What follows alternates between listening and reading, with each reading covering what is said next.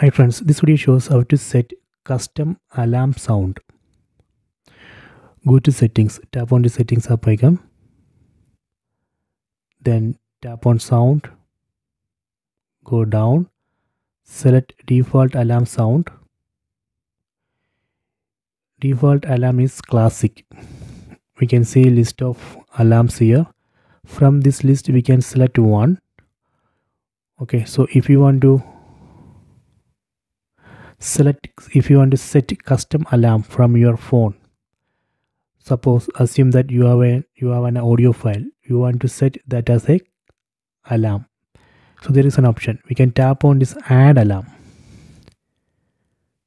So now from this phone from this phone we can select the audio file mp3 file or any other audio file. Then we can set that as alarm so that way we can set custom alarm sound.